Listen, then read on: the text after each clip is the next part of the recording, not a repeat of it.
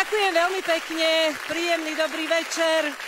Všetkým vám, milí diváci, eh, ktorí ste tu v štúdiu Mlinskej doline a samozrejme dobrý večer aj vám doma pri televíznych obrazovkách. Hovorí sa, že ak eh, chcete v niečom uspieť, tak vás to musí predovšetkým naozaj veľmi baviť, musíte si preto nájsť dostatok eh, času a úplne ideálne je, ak máte vtedy vedľa seba niekoho, kto to cíti podobne ako vy. A ja to šťastie v zlatých časoch mám, pretože mám vedľa seba človeka pravidelne, ktorý to cíti, aspoň teda dúfam podobne ako ja. Dámy a páni, pán Milan Lasica.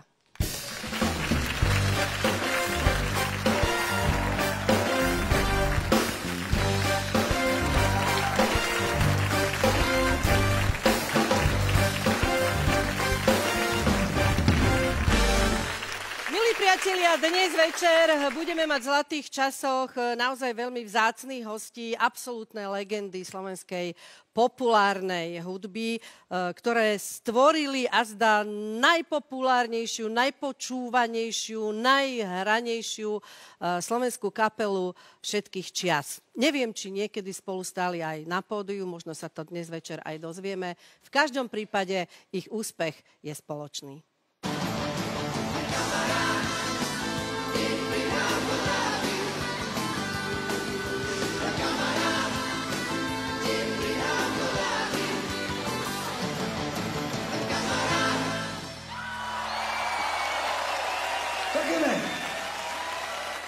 To piesek, ktorú sme venovali Borisovi. Dúfam, že niekde tu náš kamarát, ktorý je človek kapely, ale není na pódium.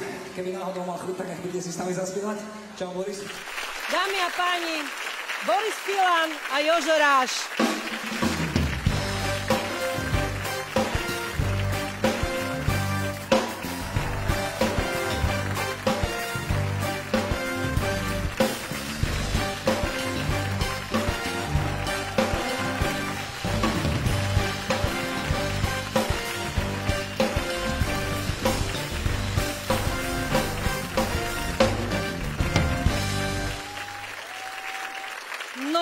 Vítajte páni v Zlatých časoch, veľmi sa teším, že ste prijali pozvanie a veľmi sa teším, že takto, v, takom, v takejto dvojici, lebo Boris, ja sa najmä vám musím hneď úvodom priznať, vy jubilujete veľké životné jubileum v tomto roku. Ja som počula, videla, čo sa dalo, lebo sa patrí ako moderátorke, aby napočúvala, napozerala. Ja som sa zľakla, že ja sa vás už ani nebudem mať čo opýtať, aby to už niekde neodznelo. Ale nikto sa vás neopýtal, ako sa máte. Len tak, že či cítite v tom e, veku, už v tom jubileu nejaké zmúdrenie, že či, či to sa dá nejako tak pocítiť, že či sa môžem tešiť, že za necelých 10 rokov, že či už to bude lepšie so mnou. A ja som to počul, že človek časom zmudrie, a? ale zistil som, že a rovnako aj zhlúpne, takže je to nula k nule. Hej, tak Nie, ja si vás... myslím, že človek časom iba zostarne.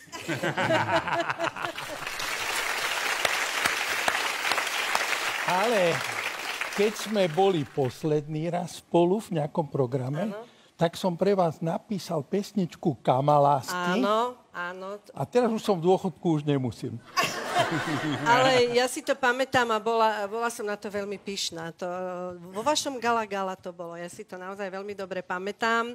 Začula som teda, že, že e, Jožo je váš najlepší kamarát ste povedali niekde, vidíte, to som všetko pozachytávala. Nie, a niekde, je... všade to hovorím stále. A je to veľmi vzácne, viete, prečo ja to považujem za vzácne, že v tomto našom svete a živote, dajme tomu mediálnom, televíznom, filmovom a ja neviem akom, to nebýva zvykom, že to kamarátstvo vydrží toľké roky a až, až také silné, že poviete, že je to stále váš najlepší kamarát. Uh, Jožo, práve sa, nech to tak ostane.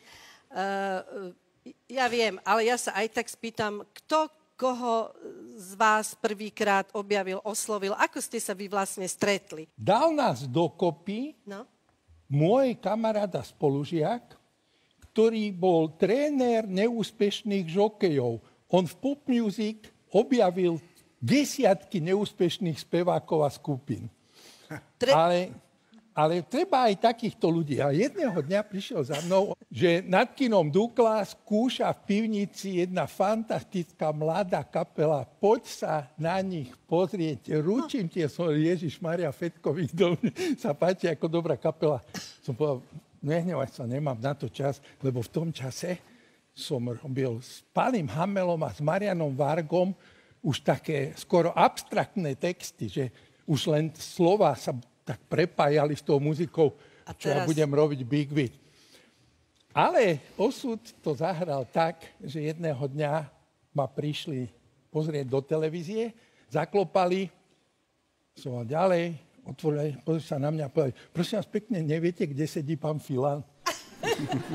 Začali sme takto, ale ja som zistil, že práve také pesničky chcem písať, že to, čo som robil s Vargom a s Palým Hamelom, že to som si len namýšľal, že chcem. No vidíte. Jedným z najpredávanejších uh, slovenských uh, albumov uh, v populárnej hudbe bol album Detektívka. Všetkých čias naozaj. Vyšlo vyše 600 tisíc kusov, tuším, čo je teda na slovenské pomery naozaj neuveriteľné číslo. Mňa by teraz zaujímalo, iste vás to vystrelilo, že ako ste zvládali tú popularitu, lebo nutne musela prísť. No, bolo to také, že, že idete po ulici a že, že vás to dostalo až do takého, že už to trošku aj prekážalo? Bolo to také ako vždy, neznesiteľné. A fakt som nemohol chodiť po ulici, ľudia sa mňa ma vrhali a strahovali zo mňa šaty doslova. A bol som raz za Borisom a hovorím mu, že to sa nedá vydržať, že ja to takto nechcem, že Proste tá popularita je neznesiteľná. On hovorí, no je to zle, ale bude horšie, keď to už nebude. No, pán Lasica, vy ste kedy prvýkrát zaregistrovali uh, Elan? Ja myslím, že niekedy začiatkom 80 rokov, tak som to s radosťou zaregistroval, ak nie ako rock and roll, tak aspoň ako big beat. Takže to sa mi páčilo. Uh, Boris, vy ste nastúpili e, do Československej televízie vtedy v roku 1973, ak sa nemýlim. A ja sa strašne teším v tejto relácii z toho archívu Slovenskej televízie, lebo my v ňom nájdeme úžasné veci. Ja si myslím, že aj táto je úžasná. Som zvedavá, ako sa budete. Či sa vám bude páčiť. Sem s ňou.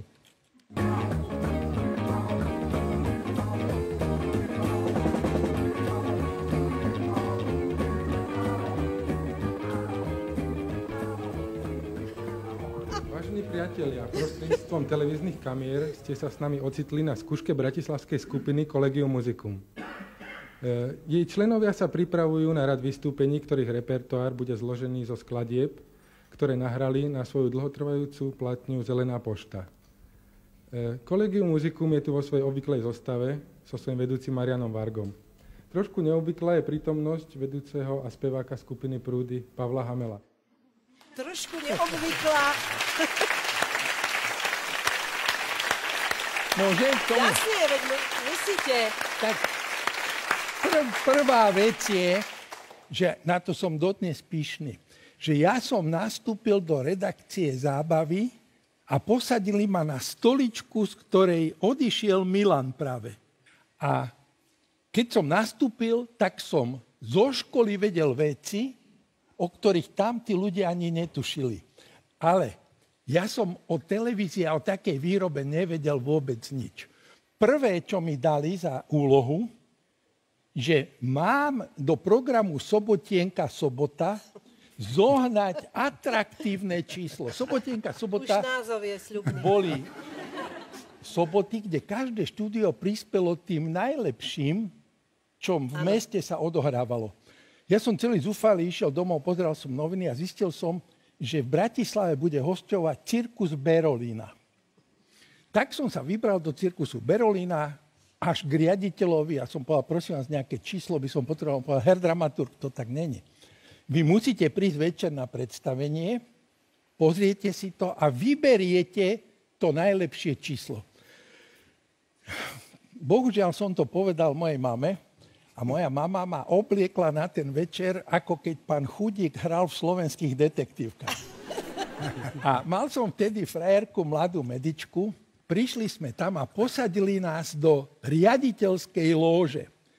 A celý ten cirkus, celý večer hral na nás pudlíky, skákali, džigiti na koňoch, behali, proste neuveriteľné. Na záver prišiel riaditeľ cirkusu v turbane a predviedol cvičenie štyroch tiav. To obecenstvo nás nenávidelo. Na záver toho vystúpenia ten riaditeľ prinútil tie ťavy, aby si pred nami klakli. Tá jedna ťava zodvihla to ťažké oko, vtiahla strašný sopel a na 3 metre ma oplula takýmto kilovým zelenáčom. Obecenstvo jasalo. To bolo číslo. To bolo číslo. Tá moja kamarátka medička, tá, tej sa nič nehnusilo, už mala pitvy za sebou, vybrala vreckovku a pokúšala sa ten sopel zotrieť, takže som odchádzal, ako keď som mal igelitový prší plášť. A ja som zložil prísahu, že cirkus Berolina, kým ja žijem, v televízii nebude. Ale ja som zdedil po mame takú povahu, že ja sa na nikoho dlho nehnevám. A tak ráno som sa zobudil s myšlienkou, ktorá mi pomohla prežiť aj v televízii, aj v socializme, aj v kapitalizme. Že keď ťa opluje ťava, nezanevri na celý cirkus. Ja som... Jožo, musíte dokončíme tú tému, lebo to je hrozné. Dvoch takých hostí ma teraz neviem, e, čo skôr, koho sa čo skôr opýtať, ja ale... hovoriť, tí, čo Nie, vedia, dobre, nehovoria. dobre, tak to, to mám radosť. Ale budete, budete musieť, lebo sa streba. Ale tú televíziu by som ešte chcela dokončiť e, jednou otázkou. E, Videla som taký dokument, veľmi dobrý naozaj, v poslednom, už neviem kedy, dva týždne, tri týždne dozadu, kde hovorili aj bývalí riaditeľia slovenskej televízie a hovorili aj šoféry, ktorí tých riaditeľov vozili. A to bolo také Už naozaj... chýbali len bývalí diváci. Ale tí šoféry boli zlatí, ako to, čo oni považovali za dôležité u tých riaditeľov. A jeden bol naozaj mimoriadne milý a ten hovoril, že ich tam prežil 10. Koľko vy ste za, za vašu éru? 11. Á, tak teda. A bol- Prekonal som ho. Prekonali ste Nie. ho. Televízia bola medzi zoologickou záhradou, cintorínom a bordelom zvaným Mlínska dolina internát. Hej, tam, tam som bývala. Tam som bývala. A zo všetkého mala niečo. Ale to bolo dôležité, ako sa tam žilo. Že najviac sme sa tešili do roboty na to, že čo si porozprávame, kam si pôjdeme vypiť. Keď sme chodili do exteriérov, my sme tam boli ako bohovia, prišli sme tam, tam bol nejaký predseda Náro- Národného výboru a my sme hneď, a kde máte stoličky a čo, jak, jak to tu máte urobené? On sa takto krčil trošku. Celé to stalo a padalo na dvoch ženách. A to boli Judita Gembická a královna všetkých televíznych dramaturgov Katka, Katka Svetková. Svetková. Taká žena na svete druhá nebola, není ani nebude. Dáma, kamoška, geniálna organizátorka, výborná dramaturgička. Kvôli Katke Svetkovej sem chodili z Prahy najlepší režiséri, herci všetci. Ale hlavne ona priviedla do Bratislavy nášho guru Janka Rohača. No ja by som touto cestou chcela Katku Svetkovú za nás všetkých e, srdečne pozdraviť. Dúfam, že sa Moja jej najlepšia darí. kamarátka v A živote. nech sa jej darí aj naďalej.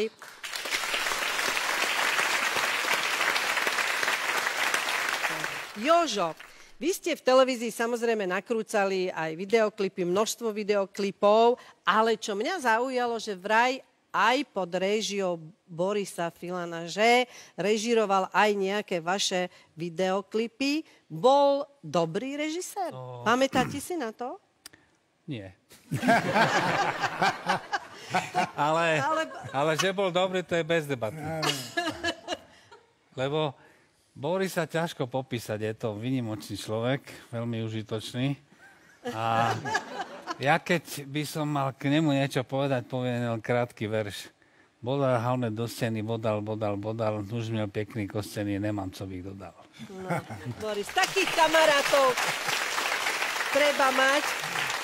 Boris povie. Ja zase musím povedať, že to, čo ja si o Jožovi myslím, som vyjadril v takom najnovšom našom texte, v najno- najnovšej pesničke Nedraždi ráža bosou nohou. Ale ani Boris sa asi nie, nie? Dalo sa Ježiš ním... Maria, to v žiadnom prípade, Že? v žiadnom prípade, Nie. nikomu neradím. Nie. Dobre, tak idem ďalej. Áno, múdro.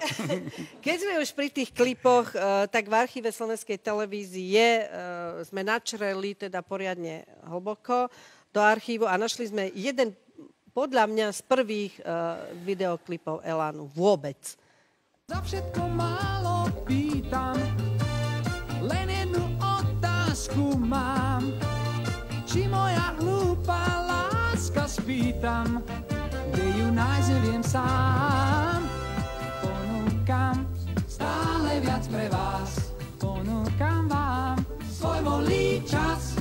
Ponúkam liek na vrázky za adresu tej mojej lásky.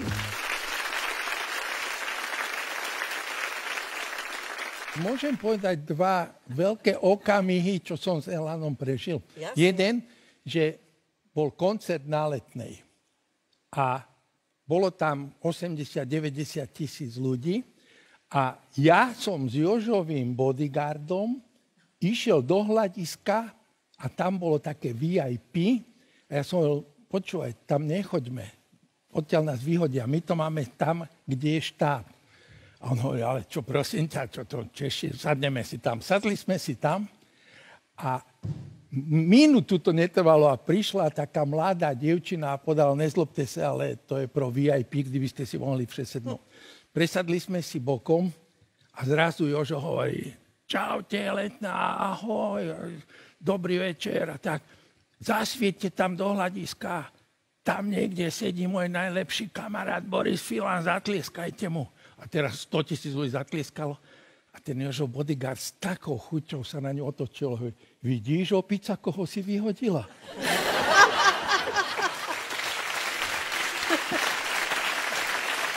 Druhá. Boli sme v Prahe a Elan hral v Lucerne. A ja som sa pohyboval medzi nosičmi, technikmi, kapelou a zrazu som videl, že do preplnenej Lucerny prichádza asi 60 detí z ústavu invalidov na vozíčkoch, taký všelijaký, ako už tá príroda si vie s tým pohrať.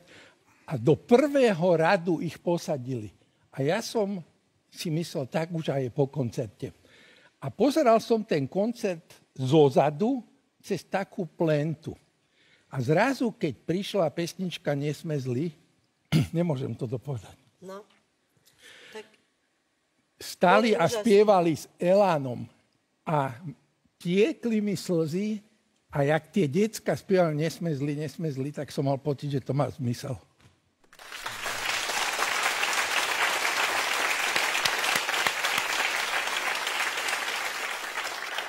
Jožo, vstup, že vás stál vstup do Elánu 800 korún, to bola nejaká cez stávku, alebo čo, čo to bolo? Oni Vašo vyhadzoval bas-gitaristu, ktorý bol zlý. No ale jeho rodičia povedali, že len za podmienok, že zaplatíme jeho basu, ktorú si kúpil do tej kapely. Tak ja som musel kúpiť tú basu. Sa volala Baso 4, Olana najlasnejšia basa na trhu za, za 800 korún ako nová. To bolo ale Tak som to musel zaplatiť, požičal som si od oca peniaze a potom som to 3 roky splácal. Chcela som sa opýtať, a v podstate asi všetci o tom môžeme chvíľočku pohovoriť. Uh, Vy ste absolvovali tiež prehrávky, predpokladám, keď človek chcel mať nejakú tú triedu a nejakú korunku si nejako zarobiť. Ako, ako to? Bolo Áno, také, no, že aj ste nedostali? Bola komisia vypočúvala nás aspoň 2-3 hodiny. A hlavne, čo bolo treba, bolo treba spraviť tie politické otázky. Hudba, noty a toto vôbec nikoho nezaujímalo. Či vieš hrať, alebo čo to vôbec. Len Texty. politika, či poznáš, kto je, čo je a tak ďalej. Ježiš. No a to, keď ste nevedeli, tak ste neurobili prehrávky. To Takto nemyslíte to bolo, váž- bolo vážne? to takto. Ja sa pamätám, že keď sme my boli na tých prehrávkach, tak nám položili otázku, že či čítame dennú tlač. A Julo povedal s vážnou tvárou, Ja čítam jedine orgán komunistickej strany Slovenska pravdu a výnimočne, keď ju nezoženiem, tak rudé právo. A tak vážne sa tváril, že oni uverili. Keď ju nezoženiem. Ja som Boris, uh, uh, toto už naozaj ste určite tiež veľakrát hovorili. Ja som započula, že ste písali texty, samozrejme aj pre iných, nielen dvorný textár Elánu, ale aj samozrejme pre Pala Hamela, Prúdy, Modus, Janko Lehocký, Karol Duchoň. Krásne ste o tom hovorili u, u Vlada Franca, dokonca aj Palo Habera. Však taký malý prierez si pozrime. Otcov oblek biele manžety, vreckové som dostal od tety. Koľko slubov, koľko slov, koľko túžob, koľko slov, more skrýva. O, more skrýva. Budem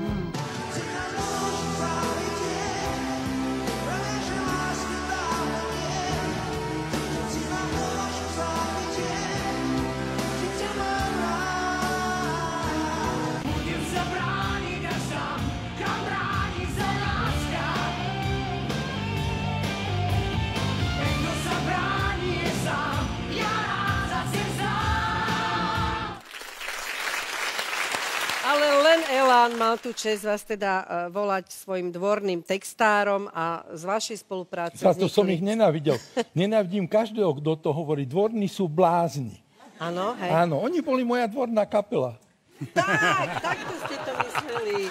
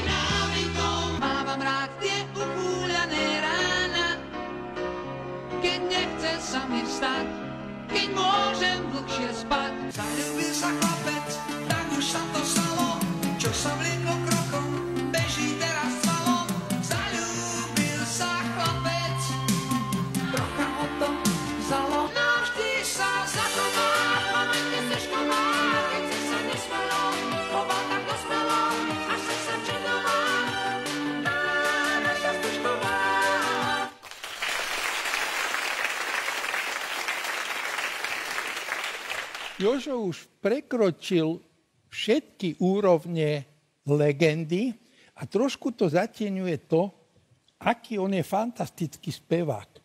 Ja som stával tam vzadu, alebo aj z hľadiska a žácol som, že môj kamarát takto spieva. A čo robí tam? To je zvláštne, to majú taký dar niektorí ľudia, že na tom pódiu sa rozžiaria a vydávajú neuveriteľné vlny tomu obecenstvu spieva stále lepšie a má aj zaslúžené úspechy. Má jednu ambíciu, ktorú ale nemá uspokojenú. Celý život túži ma rozosmiať nejakým vtipom. A kedysi som sa nesmial a teraz sa smejem, ale on tvrdí, že neúprimne. Jožo, eh, vy ste viackrát povedali, že Boris je vlastne ako by tiež členom eh, toho Elánu. Ja, si myslím, že ste to skôr mysleli tak, eh, že je ako dušov, že ste si naozaj blízky, ale je Boris naozaj ako keby rocker trošku? Zažili ste ho vy napríklad niekedy aj na nejakej šnúre? Bol s vami niekedy? Bol? Bol určite. A aj Neviem tak, kedy a na ktoré, ale bol... ale, neviem, kedy a na kerej, ale bol. Eh, A bol aj taký, že, lebo však ja si toto aspoň tak predstavujem, možno mi to vyvrátite, ale že po tých koncertoch takých parádnych rokových, že ste to aj trošku potom rozbalili, že ste aj dačo popili. Bol aj toho účastný rocker tento? Ja áno, ale Jožo nie. Ja to dáko zle vidím celé.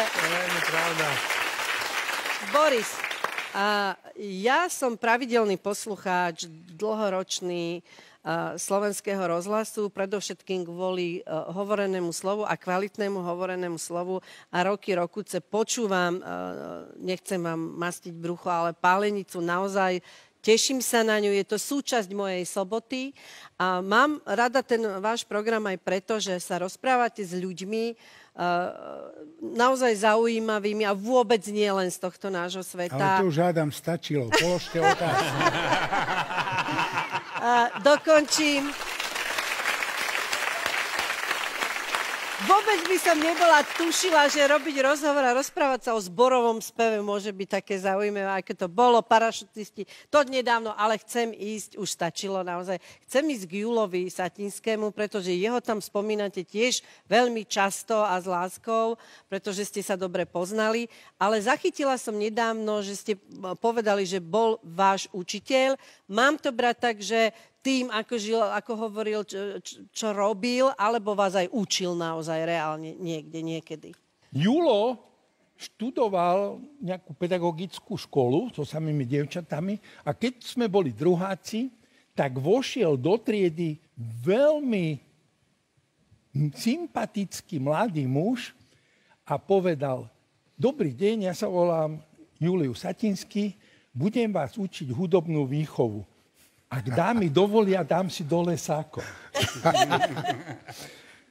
Boli sme s Júlom naozaj veľmi dobrí priatelia a zažili sme mnoho krásnych kaviarňovo-barových situácií, ale občas sme pili aj úňho, ešte keď býval na starom byte.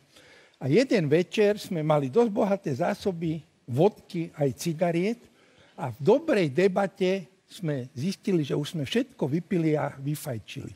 A tak Julo zavolal taxikára Eda, dal mu stovku a poslal ho do kryštálbaru, aby nám doniesol nové zásoby. A poslednú cigaretku ešte mal a keď Edo odišiel, Julo si zapálil, vyfúkol dym a povedal, Zemegula si tížko letí vesmírom a my posielame taxikárov po vodku. Život je nádherný.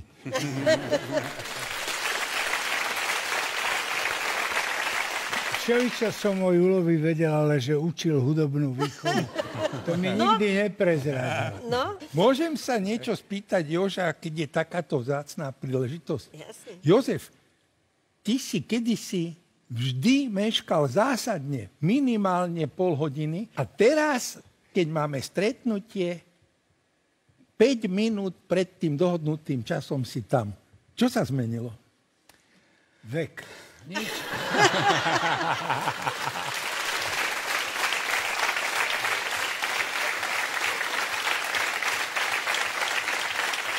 No, v skutočnosti to bolo tak, že ja som mal pred niekoľkými rokmi ťažkú nehodu na motorke. Dva mesiace som bol v kome a prebral som sa polamaný úplne. Dva roky som sa učil chodiť a všetko. A dovtedy som nič nestial. Dovtedy som stále všade meškal všetko. A odvtedy po tej nehode, ak som sa prebral a uzdravil, tak som nezmenil nič na svojom živote, len som sa prestal ponáhľať a tým pádom som začal chodiť presne. To je celé. To je ono. Dobrá odpoveď, pravdivá.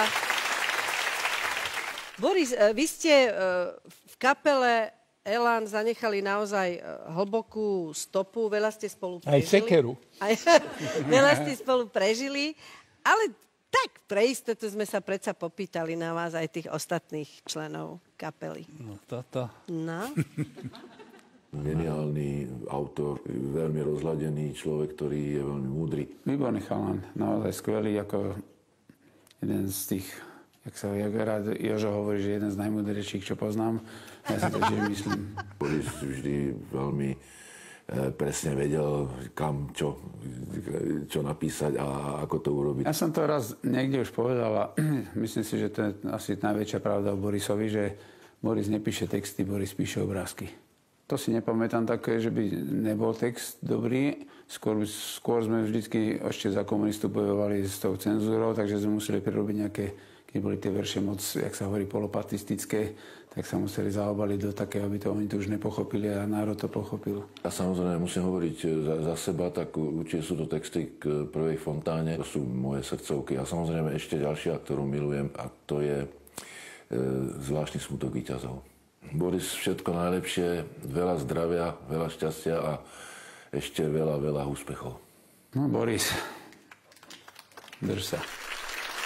A pracuj. A pracuj. Dobre.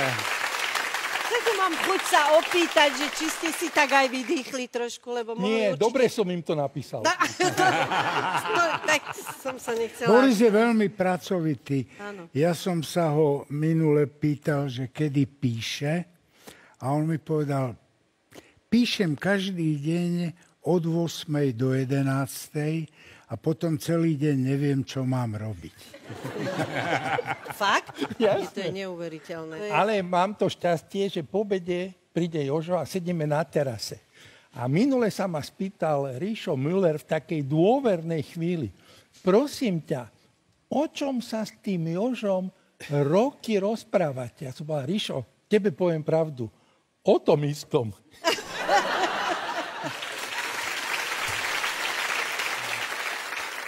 V každom prípade je dôležité, aby napriek tomu, čo človek navystraja, predsa len ostal človekom. Myslím si, že uh, o To tom... bola úžasná veta. Že? že, že, hlboká. že o, tom, o tom išlo. že o tom je aj pesnička Nie sme zlí, no. Ale dnes nám ju uh, prekvapivo príde zaspievať Ivanka Regešová.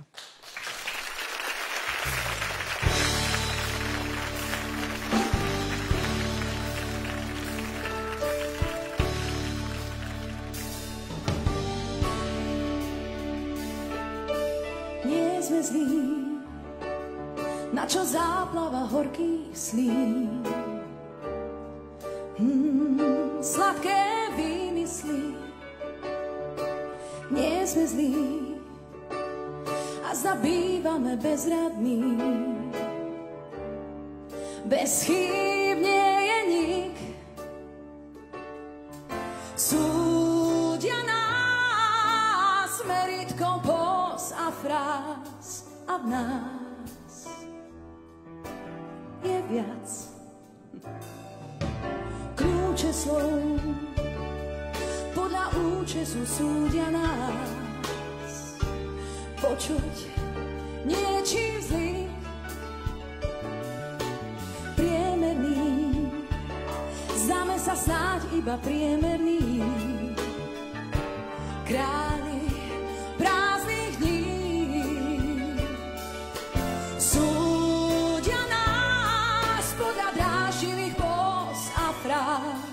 nás.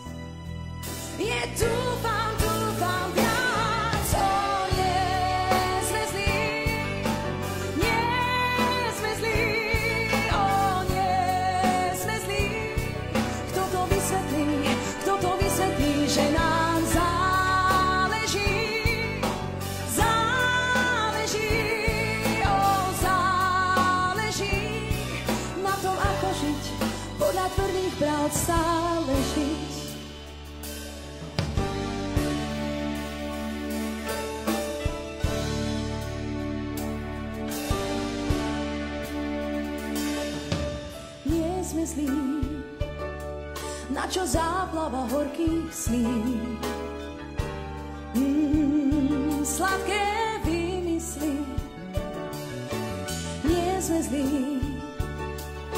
a zabývame bezradní. Bez chýb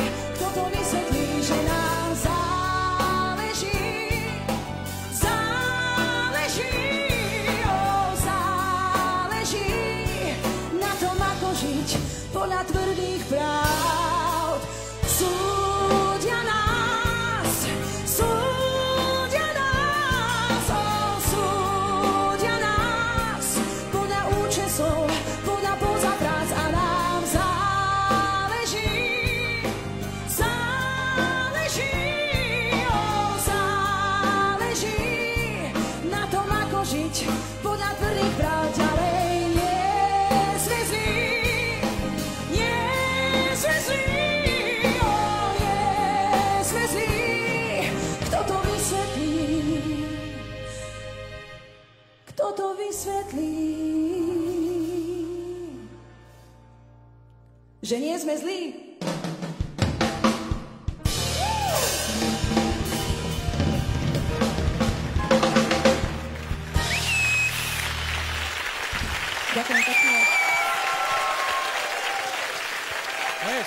dobre. Ivanka Regešová spievala. Ďakujeme veľmi pekne. V 80 rokoch boli elánisti už doslova rokovými hviezdami a v televízii ste boli varení pečení. Naše okienko Pýtame sa tentokrát navštívila skupina Elán.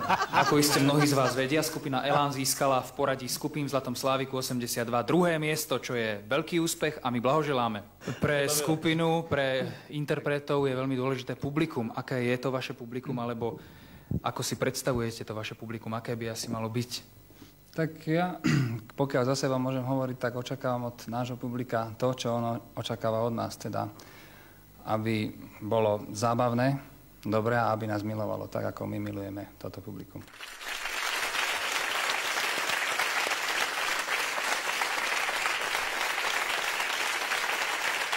Takže, milé publikum,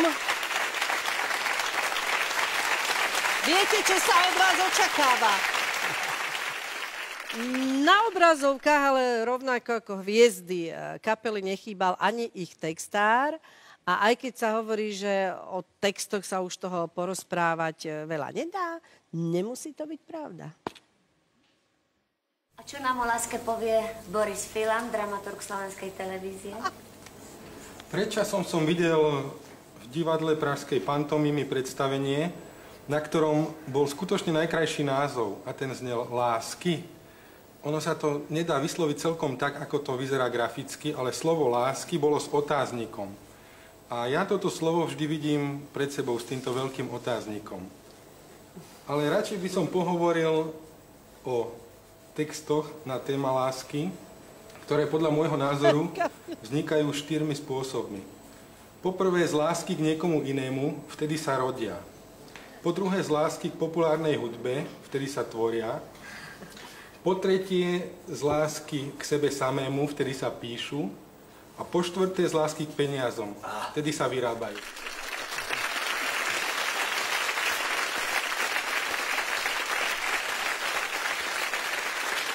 A si tam sedeli ako 12 mesiačikov, No, že no. výborné. Už len no- nohy ohník ce- tam ale už len ohník, keby tam bol e, pred vami. E, Ako to teda je, Boris? Tak doteraz, ako ste povedali, že stále tie texty sa aj rodia, aj tvoria, aj, aj píšu. Keď som išiel do štúdia, tak sa ma moja manželka pýtala, že keď sme urobili s Jožom tú pesničku, že či zn- znova budeme robiť. Ja som jej povedal, vieš Inge, ale ja už také dobré texty, ako som ja písal, napísať neviem. To nie je celkom také jednoduché. Písanie textov je vytrvalý zadok, dosť dobrá pamäť a potom nejaké napojenie niekam hore. Väčšinu tých textov, prísahám, som mal ako keby nadiktované. Že prišiel som domov od Rážovcov, mali sme nejaký žúr a sadol som si a urobil som tanečnice z Lučnice tak, že som sa čudoval, že toto som ja napísal. Lebo vtedy som mal také prepojenie do neba. A teraz už mám mobil a nikto mi nevolá. Pán Lasica, e, vám sa niekedy stalo, že nejaký váš text e, nepochopili? Treba zdívať. Speváci dúfam, že áno, ale... No tak nie vždy. Ale čo by, ja neviem, no tak ja som to potom neskúmal. Ke- Keď som napísal text a niekto to naspieval, tak ja som nechodil robiť anketu, viete, o čom to je. Pochopili ste. No, ale raz na ulici ma oslovil jeden muž a povedal, čo ste mysleli tou piesňou My sme národ holubičí. A ja hovorím, no tak to, čo tam je. A on povedal, nie, ja viem veľmi dobre, čo ste tým mysleli. E, Boris, vy ste nielen autorom ako výborných textov, ale aj televíznych inscenácií. E, ktoré sa nakrúcali tu v slovenskej televízii a v jednej z nich hrala aj vaša manželka Ingrid. Už to mám. Môžem? No, ale ticho, aby si ju nezabudla, dobre? Chcel by som ti šepkať to, čo kvetu čmeliak. Už viete, kedy pôjdete? Ja sa nestaral, veď nás zavolajú. A vy? Neviem. Krásne veci. Ktoré? Všetká hudba, Rómea a Julia. Ľubíš ma? Strašné. Nehovorte, prosím vás. Všetci chlapi sú sviniari alebo somári. Ako môj zať. Cere zničí život a mňa chce doviesť do hrobu. No čo vám mám rozprávať, pani? Tam práve ide. No Dušan.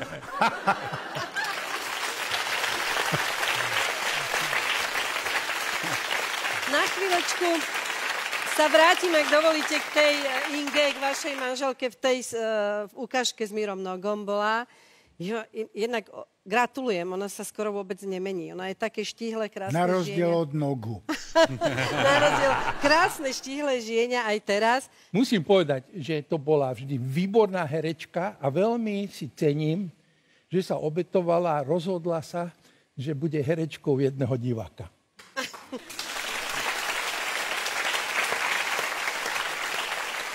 Tuto už sa ani nedá povedať, že hádam o tom ešte niekto nevie. Podľa mňa o tom e, vie už naozaj každý, že ste boli veľmi talentovaný a nadaný e, športovec. Hrávali ste basketbal. E, nie len tak, za Slaviu, tuším, to, to bolo.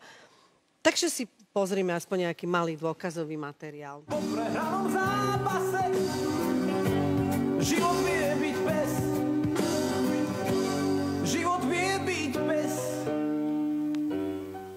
Súdruh Herman, ako si spomínate vy na Borisa, svojho zverenca? S doktorom Sajcom sme pripravovali mládežnických basketbalistov a Boris vtedy patril už medzi skutočné talentov. Bol dosť vysoký, somatické predpoklady mal už vtedy. Ale nielen to, ukazoval sa, že má aj smysel pre techniku a že má taký, také herné myslenie, čo je dosť vzácne, alebo aspoň tak v mladom veku sa to nedá hneď tak odhadnúť.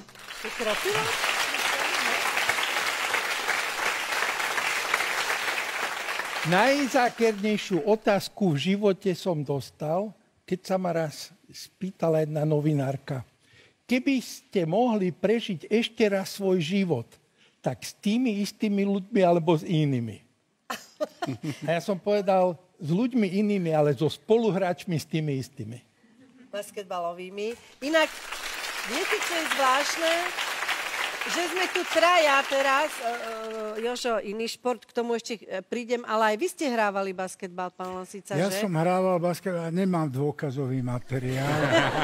V, ak, v akom veku, v akom čase, kedy No, to keď bolo? som chodil na gymnázium, teda vtedy sa to volala 11-ročná stredná škola a mali sme pravidelne majstrovstva školy, hral som za našu triedu. Celkom dobrý strelec som bol, dokonca som vedel strieľať aj takto cez hlavu. To bolo veľmi náročné. Tam bol kôže, ja som takto... Boris asi vie, o čom hovorím.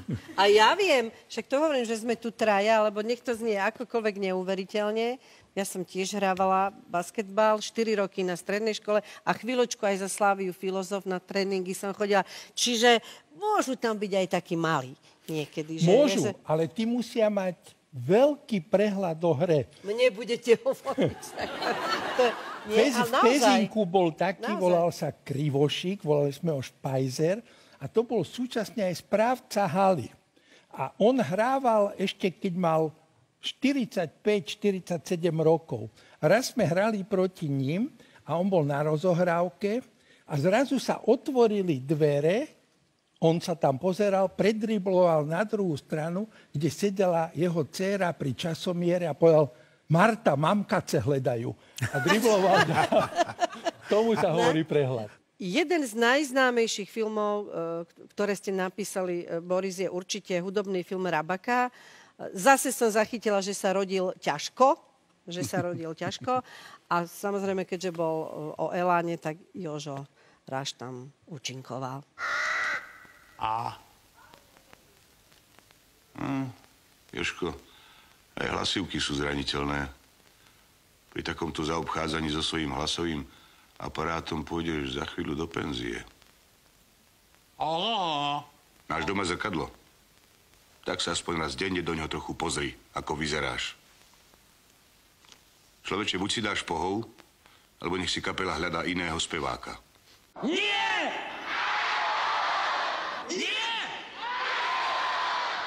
Tak keď áno, tak môžeme ísť na vec.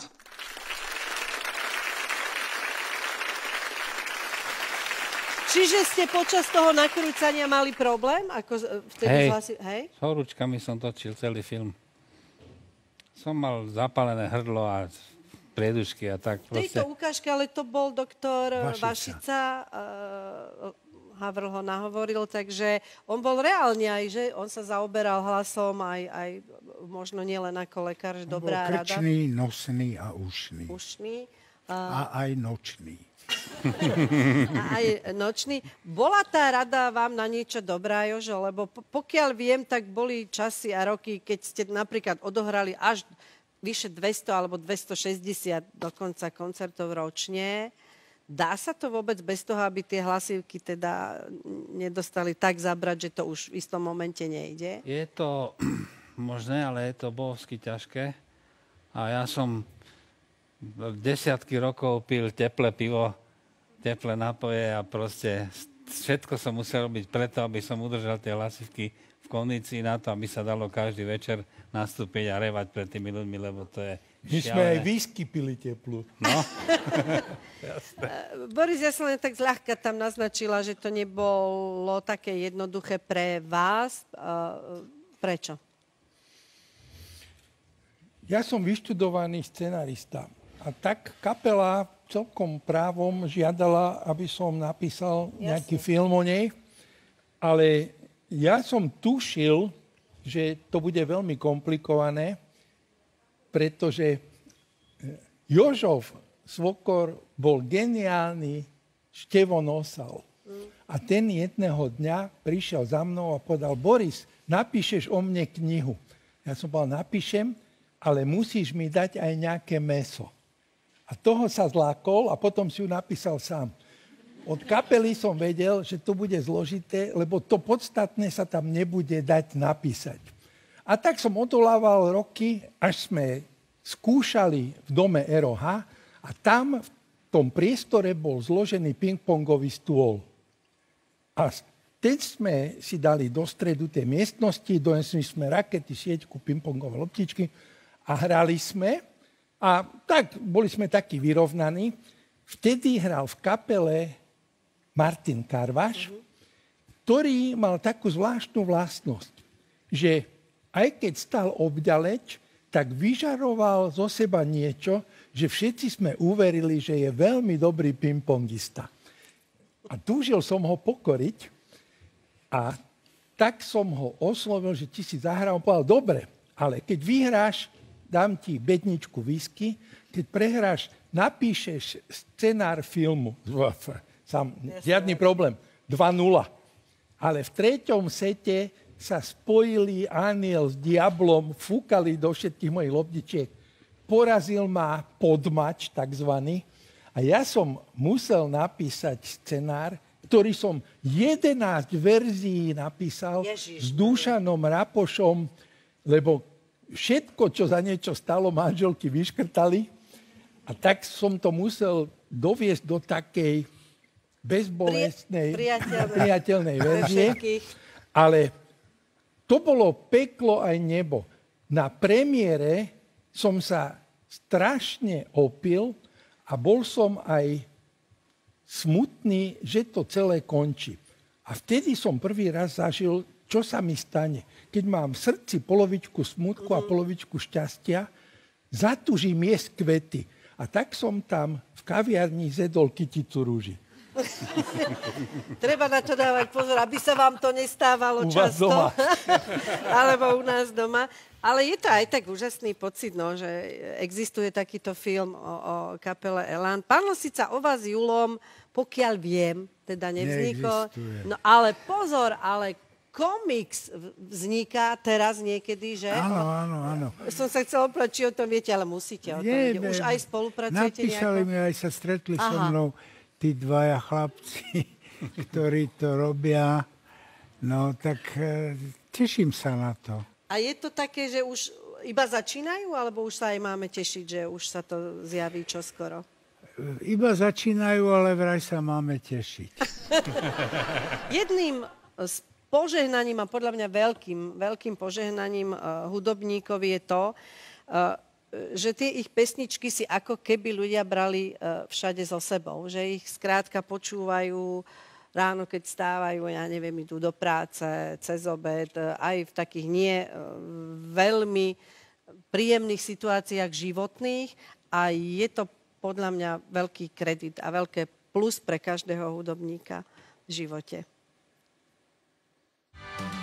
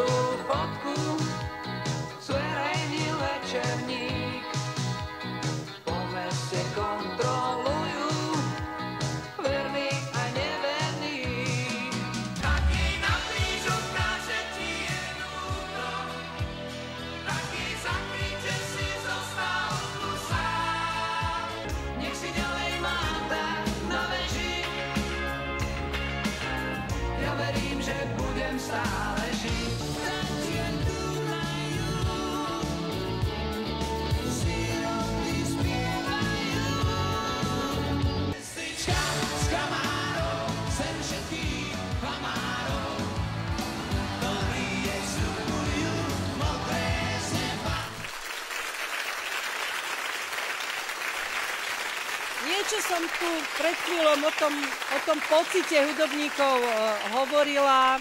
Vaše pesničky uh, ľudia poznajú naspameť, naspameť, žijú s nimi, spievajú si ich a ja by som bola rada, keby to napokon povedali oni sami celkom na záver pre vás. Ja som vyrastala na Elane, pretože môj otec bol vášnivý fanúšik Elanu, takže my sme ešte doma počúvali LP platne, vinilky, klasika. Moja najobľúbenejšia skupina. Dobrá hudba, možno, že nie iba 2-3 takty, ako teraz tieto moderné. Odjak živa mali dobré piesne. To takého hodne vystižné zo života. príťažlivé texty, ktoré im dokázali niečo povedať. Amnestia na neveru, to je taká srdcovka. 8 svetadiel človečina, nie sme z listuškova. Žaba neblázni je dobrá. Bosorka napríklad. Kráľovna bielých tenisiek, to je taká srdcovka. Listušková je asi takú, ktorú pozná každý. Sestrička z Kramárov. To je krásne. To sa nedá ani lepšie vymyslieť. Majú asi dobrého textára. Tie pesničky budú mať výpovednú hodnotu aj o ďalších 20 rokov. Naš, naši rodičia to vždy po- počúvali aj v aute, tak, takže od malička sme k tomu mali vzťah a Samko bol aj s, s rodičmi na koncerte, takže máme určite radi. To bolo v podstate kultová tvorba. Dobrá pohodová muzika. Si robil ako za mladá aj výber tých pesničiek a mám to rád, mám ich rád. Elán je Elán. Nech vytvárajú stále ďalšie a ďalšie takéto pesničky ako doteraz a nech sa držia. Nech nekončia, lebo stále hovoria, že už pomaly skončia, pomaly odídu a nech neodchádzajú. Ich to bude baviť, tak si myslím, že budú mať svojich poslucháčov, pretože ich máme všetci radi. No tak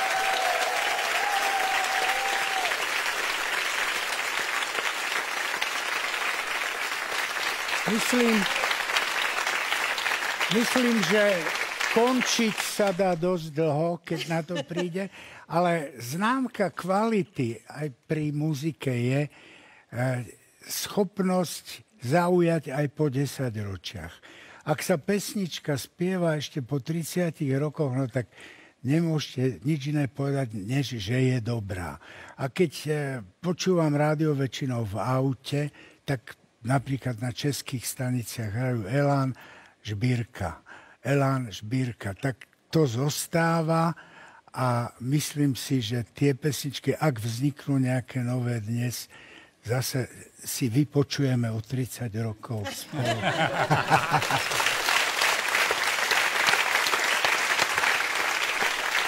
Plne súhlasím, absolútne jednoznačne. Ten chlapec to tam krásne povedal. Pán Lasica, tiež, ja s tým samozrejme môžem len súhlasiť a ja sa vám v tejto chvíli chcem naozaj úprimne poďakovať, že ste prišli obaja do zlatých časov. A, bola to pre mňa veľmi milá, príjemná hodinka. Dúfam, že aj pre vás, samozrejme najmä pre televíznych divákov tiež dúfam. A chcem vám popriať, aby, ste, aby vám to kamarátstvo vydržalo čo najdlhšie, až, až navždy. Chcem vám popriať veľa zdravia obom, lebo to je, je to obyčajné želanie, ale veľmi dôležité. Chcem, aby ste mali aj kus šťastia v živote. Priala by som vám to veľmi, aby ste boli šťastní, spokojní aj vo svojom súkromnom živote, aby ste boli milovaní. A potom to všetko, čo vám bolo želané, asi pôjde ľahšie. A ak dovolíte, Boris, ja vás chcem objať, lebo, lebo máte to jubileum. Ale aj z iných dôvodov. Všetko dobré vám prajem ešte raz.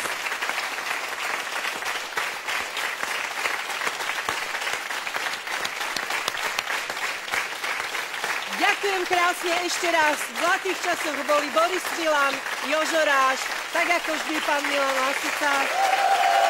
A hrala nám naša úžasná kapela. Ak máte opäť o týždeň chuť a čas, budeme tu. Ďakujem pekne.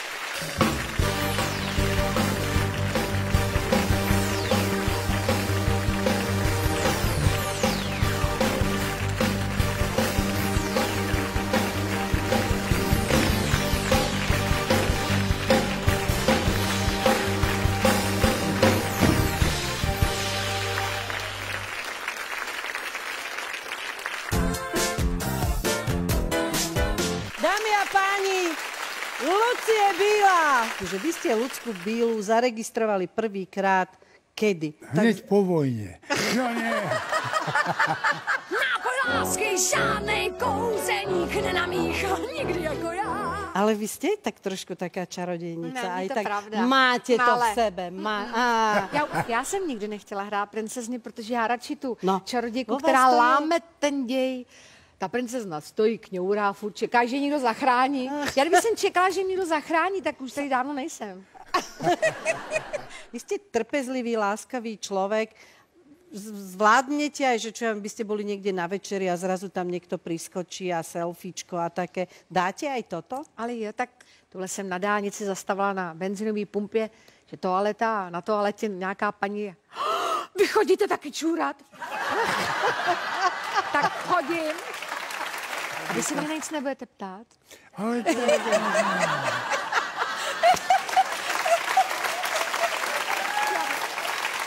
Takže, ja- jak sa máte? Aj mňa by ste sa mohli niekedy niečo opýtať, ale to ešte... Jak těžké to bude, přesto vzala si, si